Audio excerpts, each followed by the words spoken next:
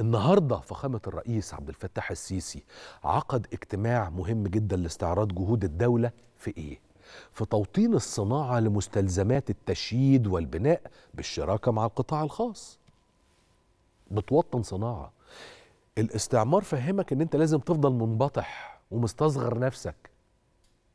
لا أنت أقوى بكتير من تصوراتك، حتى تصوراتك الذاتية، أنت فعلا أقوى. هنا الرئيس لأنه مؤمن جدا باللي بنتكلم فيه ده وواعي جدا ليه. فبيقول أيوه هنوطن الصناعة دي. وجه الرئيس بتوفير كل عوامل النجاح علشان نحشد الإمكانيات بتاعة الدولة انتاجيا سواء إذا كانت بقى على صعيد الحكومة قطاع الأعمال القطاع الخاص علشان نطور ونوطن صناعة المستلزمات المطلوبة في أعمال مشروعات التشييد والبنى. طيب اللي هي إيه؟ المسألة مش بس حديد وأسمنت. طب والمعدات والآلات؟ عاوزين يبقى في عندنا معدات وآلات. وإحنا نقدر. ده بيتعمل ليه؟ لأن أنت عندك حجم أعمال إنشائية ضخم على مستوى الجمهورية.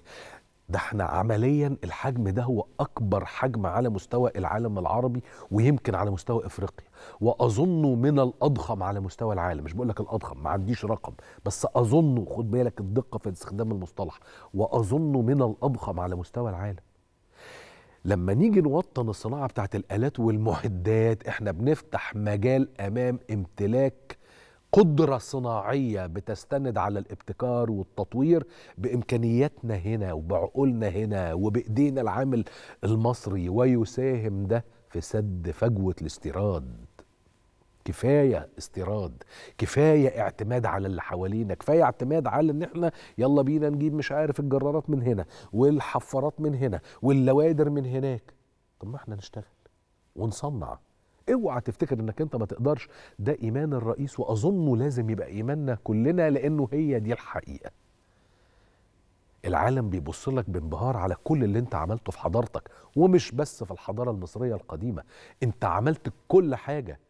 انت وضعت يد التطوير والتغيير والتحديث حتى على اللي جالك من الإغريق وجالك من الرومان إلى آخره. بجانب ده كله هو بالتأكيد توطين الصناعة عدم الاعتماد على الاستيراد يوفر العملة الأجنبية ده بالتأكيد. بس الاستثمار في عقولنا.